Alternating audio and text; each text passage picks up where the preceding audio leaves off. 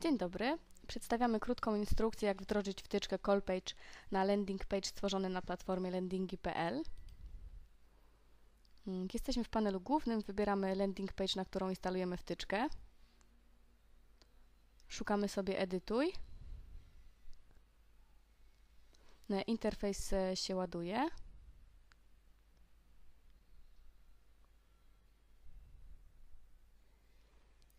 I teraz w prawym górnym rogu dajemy ustawienia.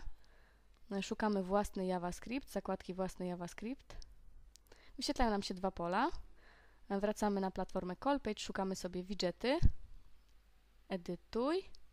Zainstaluj widget, wyświetla się kod do skopiowania, kopiujemy kod, wracamy na JavaScript, wklejamy do pierwszego pola, dajemy zapisz i zamknij. Plik się zapisuje. Klikamy na adres. I teraz wystarczy e, poruszać się chwilę po stronie e, i wtyczka Callpage e, została zainstalowana.